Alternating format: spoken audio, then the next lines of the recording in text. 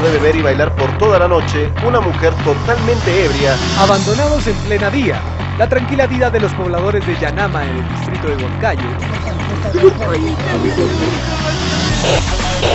Junín, una región con diversidad. Sierra y selva juntas, unidas por una sola señal. A través de la información, Cadena Noticias. Bueno, prefiero ya no responderle al señor Cerrón. Sí, que también el agua todo impulsa ahorita.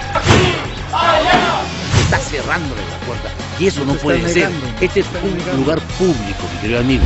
Transmite. Luis, adelante, te estamos viendo.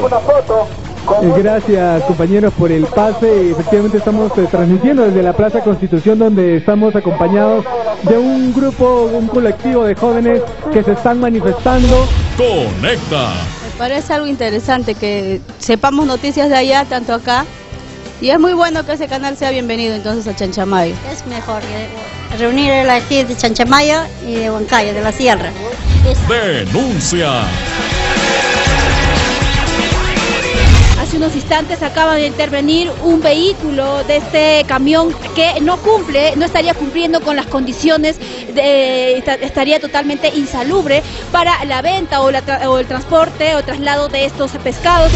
Escucha.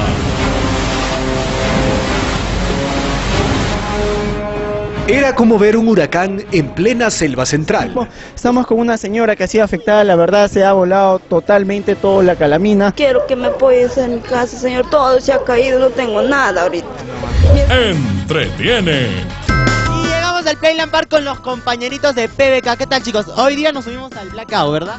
De todo, de todo. El día de hoy reventamos el Playland Park. Identifica. La gente está probando el patachi. Vamos a ver, mira acá también la gente. Qué rico, ¿no? Justamente nuestra tradición, nuestra cultura, nuestra comelona, nuestra comelona sobre todo. Viceministra, ¿qué tal el patachi? Delicioso. Innova.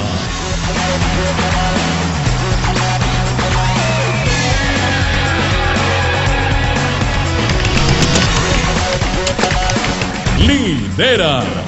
Y es un puente que ha quedado mar marcado por la corrupción. Usted sabe que Junín se aplicó por el caso de Martín Belaunde y nosotros este, tenemos esa necesidad de que usted también vaya a esas obras, que vea este, lo que ha pasado con, con, las anteriores gestiones que han estado involucrados en actos de corrupción y las actuales que a veces por mezquindad política no quieren acabar las obras.